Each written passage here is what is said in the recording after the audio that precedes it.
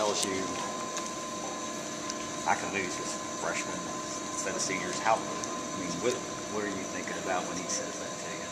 Mm, I mean, we just got to pick up our play. Um, our the, the fall game was unacceptable how we played, and um, as seniors, we need to pick up the play. There's no excuse for it.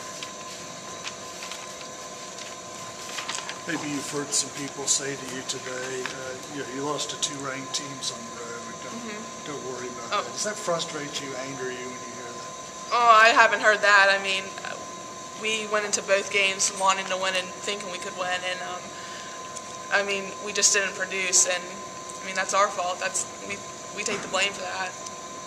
You distinguish between losses, whether it's the best team in the country and the worst team in the country. A loss a loss? Yeah, and it's not only a loss, but I mean we didn't play well. Um, I mean you can lose and you know play well and play hard, but I mean we didn't do any of those. There's no excuse for it. Mr. Carey was saying maybe that he's detected maybe some a loss of hunger, maybe that you had, maybe were a little bit more hungry last year as a team. I don't know if it was because coming off the 18 and 15 season the year before.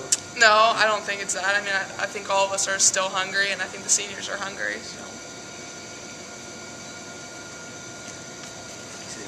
How you get your edge back after you lose two games in a row, especially with a blowout loss like that?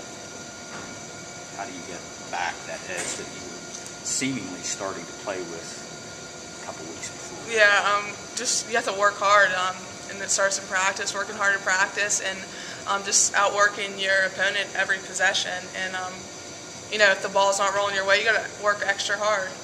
So just working hard out hustling people.